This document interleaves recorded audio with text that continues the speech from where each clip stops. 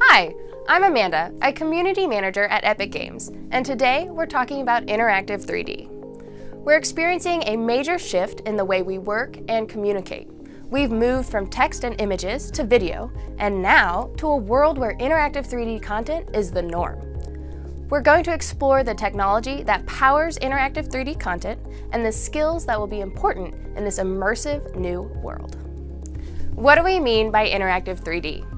What we're really talking about is the ability to interact with the digital world the same way you do with the real one.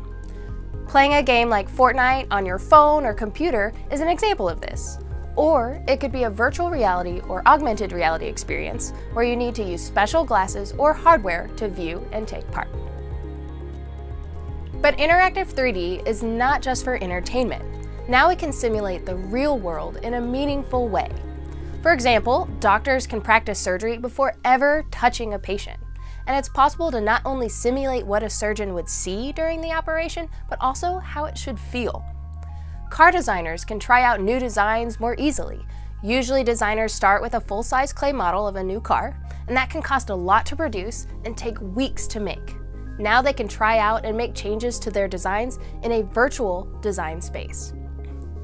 And we can experience this in our everyday life too.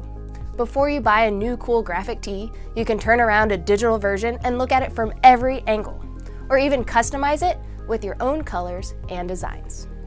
So how does this work? The technology that powers all of these experiences is called real-time rendering. This is how the Weather Channel creates realistic simulations of hurricanes and storms that the newscaster can interact with on screen. In a traditional 3D animation, the film you are watching is made up of a collection of static images that are rendered by a computer. Rendering is the process of converting a 3D model to a 2D image. Oftentimes, it can take a computer or a collection of computers days, weeks, or even months to render an entire film.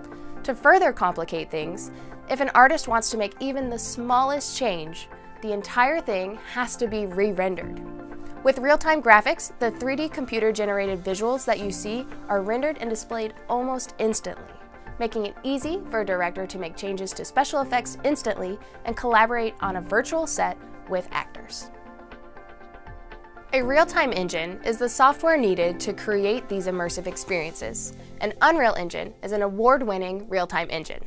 We call it an engine, but it's not like a car engine. It's actually computer software created with code. The creation process for interactive 3D involves bringing 3D models into a real-time engine where behaviors and intelligence can be applied.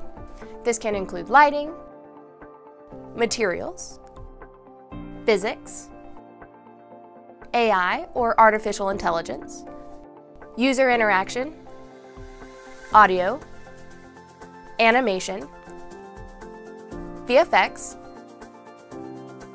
cinematics, and more. The result is not a simple image, but a 3D world that you can explore and interact with.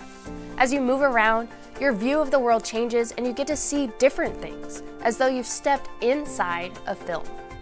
As the industry changes and we start to see interactive 3D everywhere, the demand for people to create these experiences is skyrocketing. Real-time 3D skills are in huge demand. In the future, everyone will be a creator. Want to be part of building this immersive new world?